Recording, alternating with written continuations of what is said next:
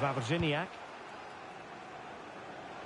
Looking for that final pass, looking for the goal that would put them ahead. Well, options at the back post here. And a bit short with the clearance. Hassan. And continues his run. And looking towards the back post. And a goal!